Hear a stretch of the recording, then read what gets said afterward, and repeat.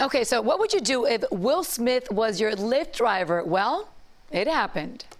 Hey, I'm your Lyft driver. I don't have all day to be waiting. Get in.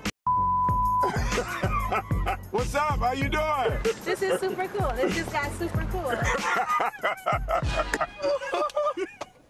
What's up, man? That is awesome. Four lucky passengers here in Miami got the surprise of their lives when the actor moved from behind the camera to behind the wheels of part of promotion called Bad Boys for Lyft. The unsuspecting passengers were very surprised by their celebrity driver. They also received a free year of Lyft rides. Can you believe that? Oh my goodness.